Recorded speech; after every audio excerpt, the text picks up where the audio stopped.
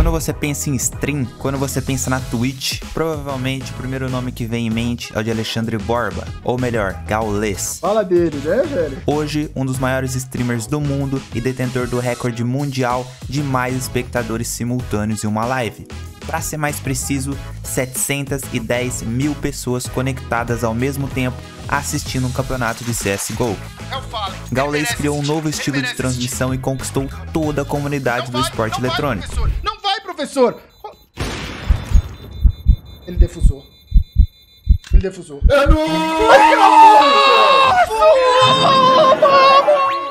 e hoje, com seu estilo único, está furando barreiras e conquistando também a comunidade do esporte tradicional, sendo o primeiro streamer a ganhar os direitos de transmissão da NBA, da Fórmula 1 e da Stock Car. Porém, nem sempre foi mil maravilhas. A história desse cara é fascinante. Teve altas e teve extremas ah, baixas. A subir no parapeito para me matar. Mas apesar dos problemas, a resiliência de um gaulês falou mais alto e hoje construiu um dos maiores impérios no segmento. Então embarque nessa jornada para descobrir como um streamer brasileiro falando português está batendo recordes mundiais e construindo um império na internet e como você pode fazer o mesmo. Então senta, relaxa e vamos para o que interessa. No momento da gravação desse vídeo, a Twitch do Gaules conta com mais de 3 milhões e 600 mil seguidores, e segundo o vazamento que teve, ele chegou a ganhar mais de 1 milhão e 200 mil reais por mês no ano passado. Mas vamos ser sinceros, o valor real provavelmente é bem maior, porque aí foi considerado apenas os ganhos na Twitch, não foi colocado em conta os patrocínios, as parcerias, nem mesmo o seu canal no YouTube e o podcast com o Ronaldo Fenômeno. Então sim, ele ganha uma grana e é muito merecida. Mas obviamente nem sempre foi assim. Para entender melhor, precisamos voltar no final dos anos 90 e começo dos anos 2000.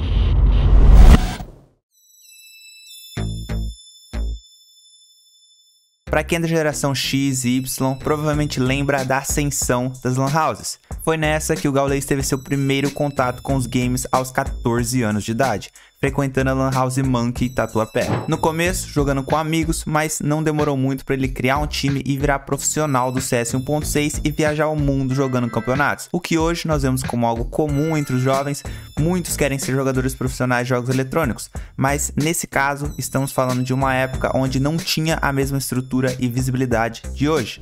Eu cheguei a jogar um campeonato que assim, a premiação era bolinha de paintball. Então realmente era algo que poucos enxergavam como profissão, mas mesmo mesmo assim, ele decidiu arriscar e dedicar sua vida ao game, e com isso conquistou vários títulos como jogador e como treinador, inclusive conquistando um campeonato mundial com a MBR em 2007, atuando como técnico da equipe. Mas mesmo com os inúmeros títulos e conquistas no CS 1.6, em 2008 ele resolveu aposentar do cenário e tentar uma vida normal, com um emprego formal Trabalhou na Samsung, cuidando da área voltada à informática. Em 2010, foi convidado pela própria Samsung para acompanhar a delegação brasileira de games. Nessa, ele percebeu que o Brasil estava distante de outros países, quando o quesito era esporte eletrônico. Foi aí que ele resolveu voltar e empreender no cenário de esports. De volta com o intuito de profissionalizar e fomentar o cenário de esportes no Brasil, ele resolveu empreender criou uma produtora para gerar conteúdo e atrair marcas para o cenário. E juntamente a isso, deu início à seleção brasileira de games. A gente conseguiu dar estrutura que ninguém nunca tinha tido. E a gente começou a fazer um sucesso e um barulho porque a gente começou, era projeto com marcas boas, os, os jogadores iam viajar, uma estrutura que eles não tinham nos times. E a gente tinha relatório, tinha apresentação, tinha assessoria de imprensa, tinha documentado nas redes sociais e minissérie, pô, Sim. vamos viajar. E aqui tá a minissérie dos bastidores da seleção indo. O sucesso da seleção brasileira de games fez com que Gaules fizesse parte de outros projetos, como a Brasil Game League, a Agência X5 e a Mega Arena X5. O que parecia estar tudo certo cairia por água abaixo poucos anos depois. Em 2017, diagnosticado com depressão severa, Gaules começou a ver os seus negócios e finanças desabarem. Foi aí que decidiu se afastar das empresas. Então vendeu sua parte nos negócios.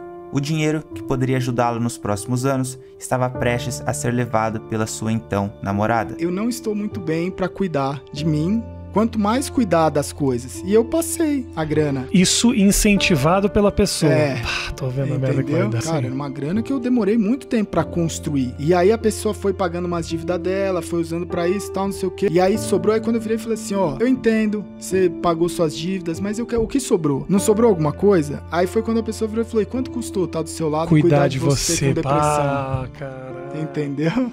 Então, devido à depressão e devido aos problemas recentes, Gaules se viu sem nada, sem dinheiro e sem expectativa de futuro. Considerou tirar a própria vida, chegou muito perto de fazer isso, mas algo divino aconteceu que o trouxe de volta. Olhei, né? Olhei o prédio, olhei o rolê e falei, velho, se eu subir aqui e eu olhar ali, ó, tem uma quina ali embaixo, se eu pular de cabeça ali, é, já era, saca? Nesse momento eu tô ali, pá, já pegando. Olhando pra baixo. Olhando pra baixo, nesse rolê, o interfone toca, velho. E esse tocar do interfone foi um negócio, tipo, cara, foi um som muito diferente do que tava rolando ali. Esse interfone me, me conectou de volta. E de olhar e falar assim: peraí, mano, o interfone não ia tocar nessa hora. Ninguém ia te visitar lá. Saca? Né? Ninguém. Eu tava dias sem falar com as pessoas. Então o interfone não ia tocar nessa hora. Nesta hora, Entendi. né?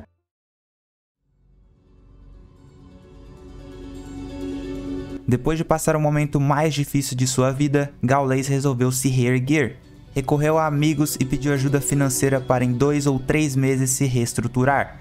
Foi aí que alugou uma kitnet e com um PC e uma webcam que restou, decidiu dar início às lives. Eu comecei a fazer live como forma de terapia. Precisando se conectar e precisando de dinheiro para cobrir custos de moradia, alimentação e remédios, Gaules viu uma oportunidade na Twitch. Através da ferramenta de Donate, ele começou a criar metas na qual a comunidade foi o ajudando. Começa a fazer live, eu não tenho dinheiro pra comer, eu não tenho dinheiro pra comprar alguma coisa, eu não tenho dinheiro pra pagar meu aluguel, eu não tenho dinheiro pra pagar meu remédio. O primeiro mês eu abri live, eu, eu tava correndo, eu tava correndo 10 km por dia. E meu tênis era muito ruim, ele me machucava muito. E eu virei e falei assim, mano, eu vou pedir dinheiro pra, pra, pra remédio, vou pedir dinheiro pra aluguel. E aí eu inventei a meta, eu falei assim, mano, eu preciso de 500 reais, quero dinheiro ali pra eu comprar os remédios. Eu falei, eu vou fazer um teste. Eu vou botar que eu tenho uma meta de 500 reais pra comprar um tênis de corrida. Você não falou que era pra remédio. Eu nunca comprei esse tênis de corrida.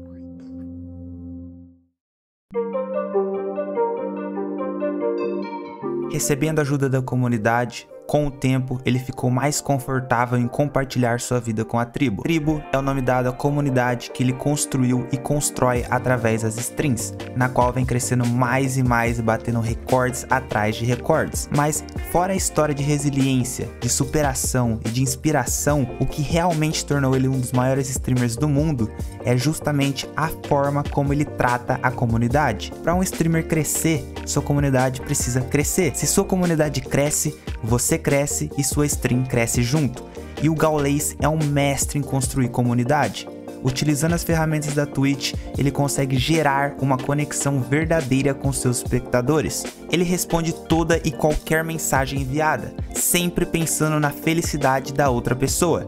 Isso fortalece e fideliza as pessoas, porque elas não se sentem como mais uma, e sim como parte daquele grupo. Ele gera engajamento como poucos, e esse é um ponto crucial para o sucesso dentro da plataforma. Desde o início das lives, Gaules veio com um estilo diferente dentro da plataforma. Ao invés de simplesmente jogar, ele focou mais na interação, focou mais em se conectar e conversar em tempo real com seus espectadores, o que hoje outros streamers acabam replicando. Ele consegue transmitir uma variedade de esportes, porque ao invés de narrar, ele age como um torcedor, como alguém que está ali com você acompanhando aquela partida. Ó, ó o homem aí, ó. Se eu te contar as histórias que eu já contei na live, você vai falar mentira, tá ligado? É mentira.